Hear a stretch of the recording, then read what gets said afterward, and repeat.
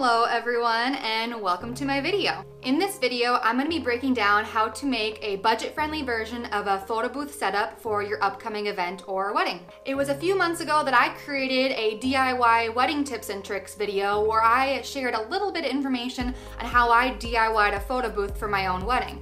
Well, since my wedding, I've actually used this photo booth setup for a couple of other events that I've been a part of. And I decided to create its own separate video to show you guys an in-depth tutorial of how to create this photo booth setup for any event that you may have coming up.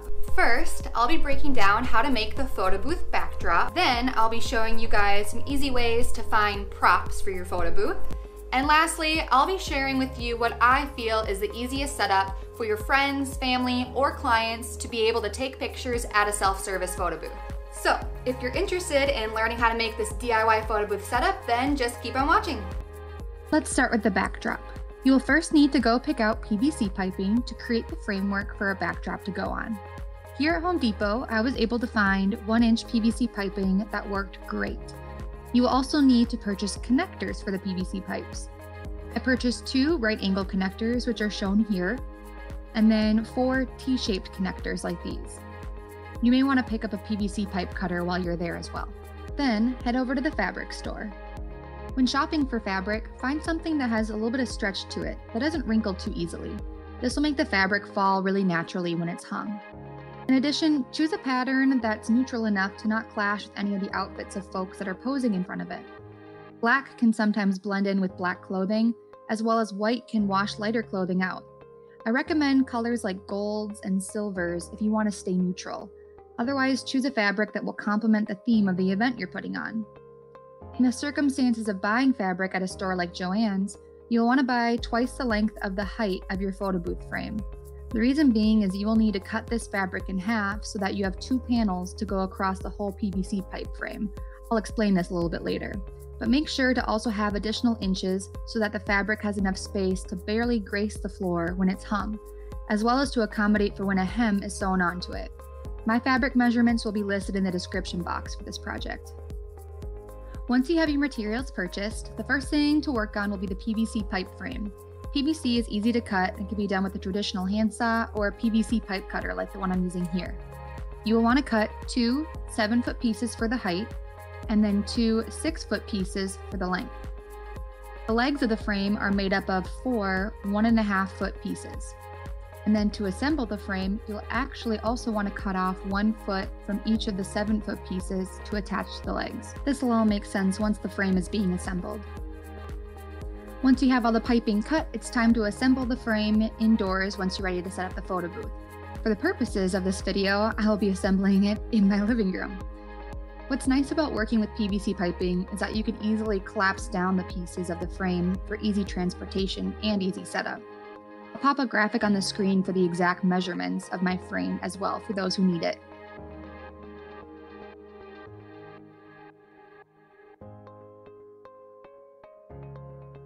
Once the frame is assembled, you'll want to measure the fabric to the desired length, also making note of how big of a hem that will need to be sewn onto the fabric. Using a scrap piece of PVC pipe, you should be able to easily measure and pin the fabric to size. Take the fabric over to a sewing machine and make sure you have the appropriate setup to sew a slightly elastic fabric. I have a stretch needle assembled onto my machine and a walking foot to help guide the fabric. Sew all the way down using a zigzag stitch. I find this type of stitch holds well. Once you have your hem complete for both panels, you should be able to easily slide the fabric onto your PVC pipe frame. Did I mention you may need a partner to help setting this up? Make sure to then adjust the fabric so that it's evenly bunched across the frame and there isn't a gap in the middle or anything. Now that you have your backdrop, what about props? Well, there are a couple of places you can check for budget purposes. Thrift stores and dollar stores are a great first start.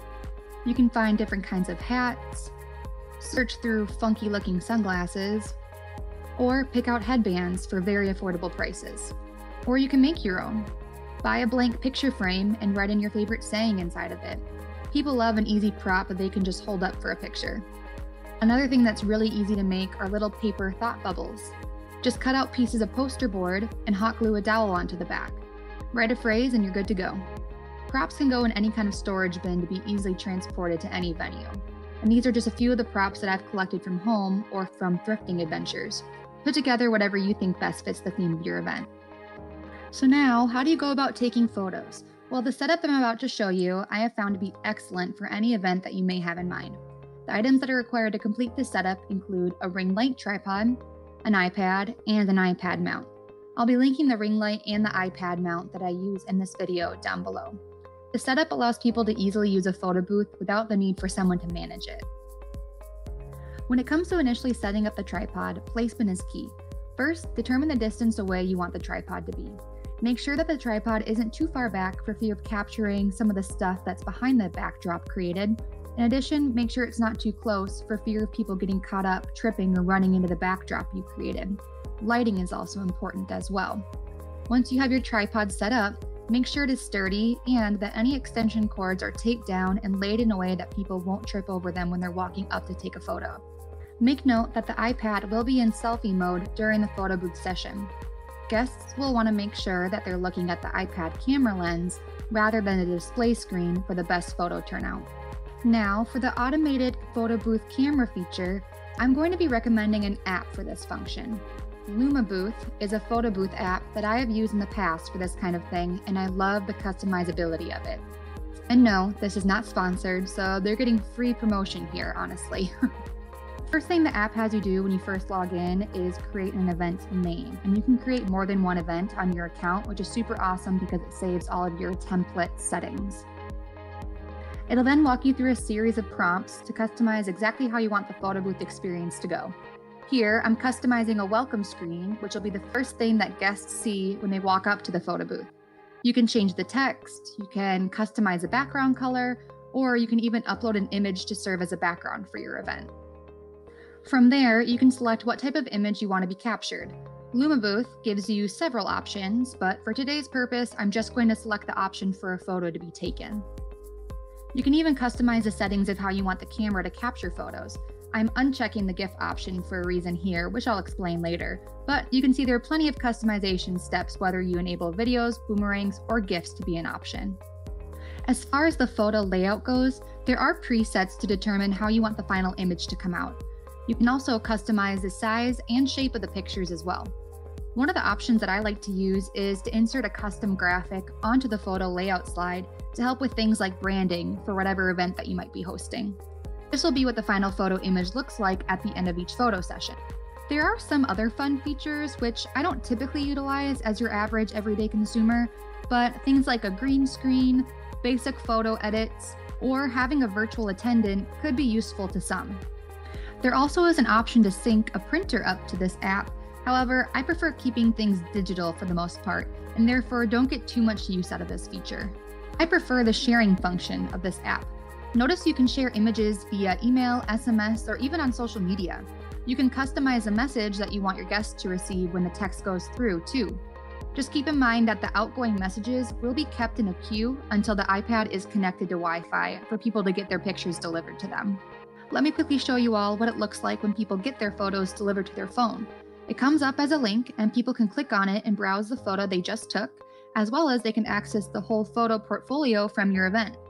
One of the things that I enjoy about this app too is that every picture that is taken through LumaBooth is automatically saved onto the iPad's camera roll as well. One of the caveats to using this app is a subscription fee.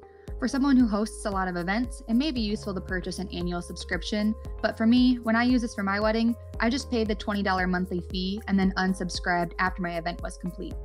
At the end of the day, this app gives you a ton of customizable features that a traditional photo booth rental would not. At this point, you have a great understanding of how to make this DIY photo booth, but let's tally up the cost of the items to see what this photo booth actually costs. I'm gonna display on the screen over to my right here all the different materials that were purchased. However, as you can imagine, some of the prices are going to vary depending on what you might already have at home. So just to recap what materials we needed, we purchased PVC pipe and all the PVC pipe um, attachments. Then of course the fabric for the photo booth backdrop. We purchased or made photo booth props. We needed this lovely tripod ring light setup with the iPad mounting accessories. Then of course, you need the iPad. And that creates really everything that you need to make the photo booth. I'd say the pricing of all this is really reasonable considering what you would have to pay to hire a photo booth for any sort of event. And then of course you have to staff a photo booth to make sure that it's able to be run. I think probably the one of the biggest benefits of doing this DIY photo booth setup is that it's self-service. So your guests can come up to the photo booth whenever they want, there's no set hours for it, and really they can take as many pictures as they'd like. As I mentioned earlier, all the items mentioned in this video are going to be linked in the description box below. If you like this video, feel free to let me know by giving it a like or by subscribing and seeing what I come up with for future videos. Thank you for watching, and I'll see you in the next one.